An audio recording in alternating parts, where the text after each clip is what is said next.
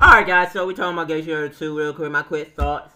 So first off, this whole scene was pretty much a Marichat um, episode, so that's good to see. But I like how she got mad the first time he got criticized, and he she just, just forgot to get him a song because he was so mad at him to should have been lady um by being a lady noir fan pretty much.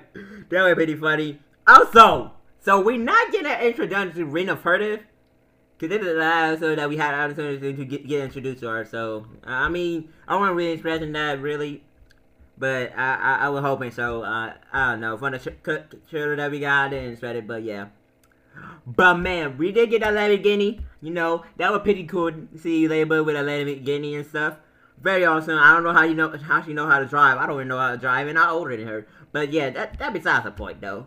But that besides the point. You know, this was a good Marichat episode. I, I enjoy um her reading the poem to um Cat Noir and stuff.